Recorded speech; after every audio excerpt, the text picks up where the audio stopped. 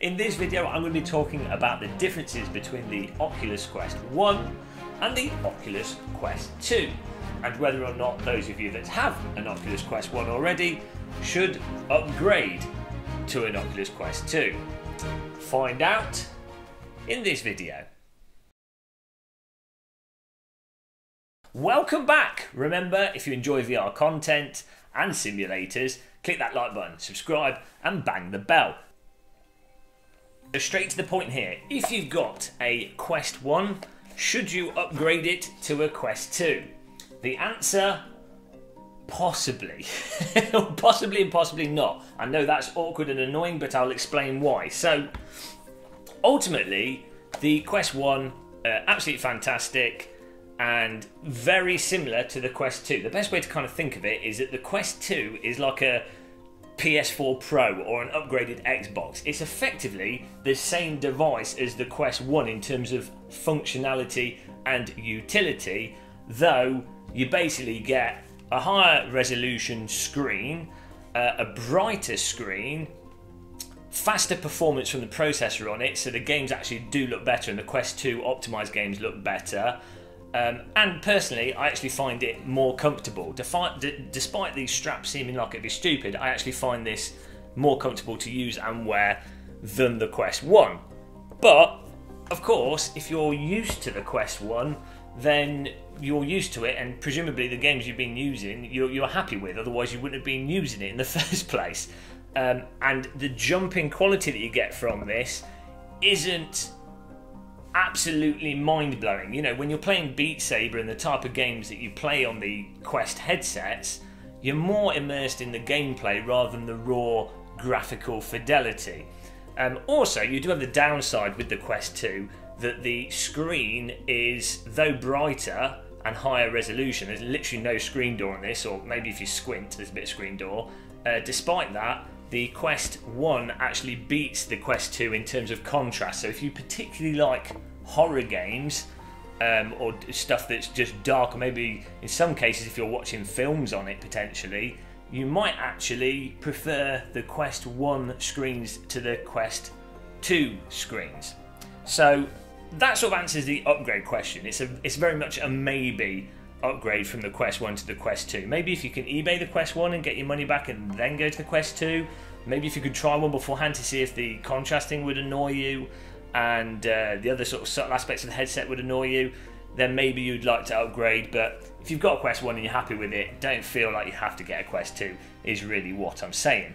Now, in and of itself, though, um, the Quest 2 is absolutely bloody amazing. I have to say, um, I'm really surprised by how good of a device it is. Now, I was replaced, uh, I was impressed with the Quest One, but the the Quest Two just just it's such a good consumer electronic device. You get out of the box, it, it takes literally 30 minutes to set it up. Now that might not seem crazy, but if you've gone through the sort of DK1 virtuality, DK1, DK2, or, you know, Vive, VR, beta software, everything. You know, if you've gone through all that and you have something that comes in the post in a box, take it out 30 minutes later, you're playing your VR games and everything's basically just running really smooth and seamlessly.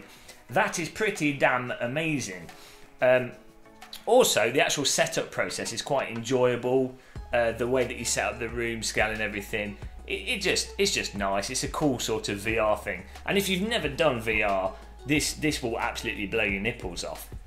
Um, and I would say um, the the strap on this is surprisingly good. I mean, a, a lot of people have been giving this um, criticism for the strap, saying, "Oh, you know, it's crap compared to to this." But for me and my bold light bulb like head, I've actually found the strap on the Quest 2 to be much better than the original Quest uh, head strap.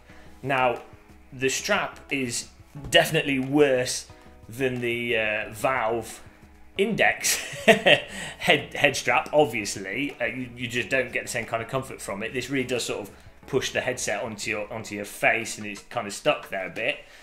But when you consider the type of device that this is, and for me, these these Quest headsets are the sort of I keep them in the sitting room, I chuck them in my bag I might take them somewhere to do VR with friends. You know, it's, it's kind of I'm going to do a 30 minute VR session type device.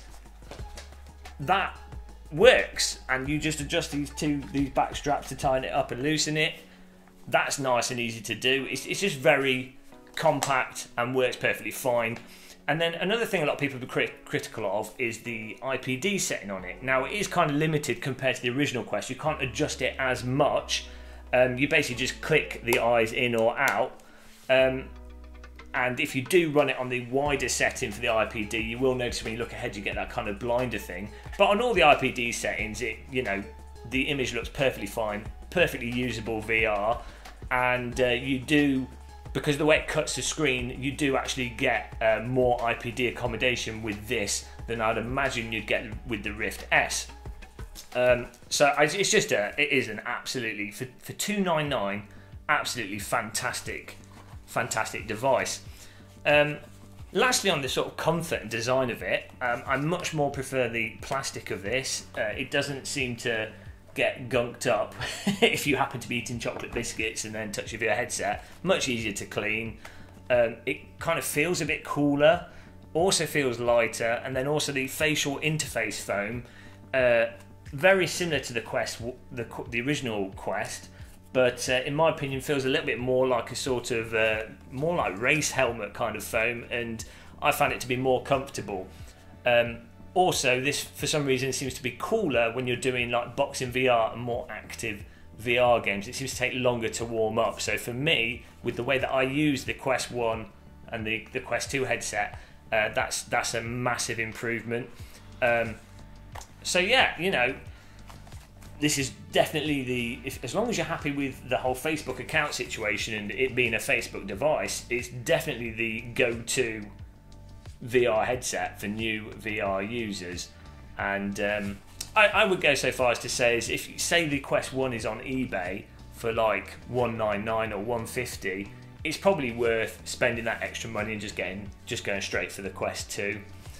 Um, I hopefully will get the other strap to test out with this headset as well because um, that'll be interesting to then compare the head strap with the more premium PC VR headsets for, for comfort with a with a better strap. But I actually, I, as I say, I find this strap that's on this pretty decent and pretty comfortable. So, yeah, ultimately, as I say, it's kind of like a PlayStation Pro, Xbox One S type situation when it comes to the Quest 1 versus the Quest 2. The Quest 2, in many ways, is a better headset, not in all ways. It's debatable whether or not you should upgrade to it, but if you're just getting new into VR, it's, the, it's obviously the way to go, and I, I think it's absolutely fantastic. So hopefully this video was useful and informative for you guys. If it was, and you want more of this kind of content, let me know in the comment section.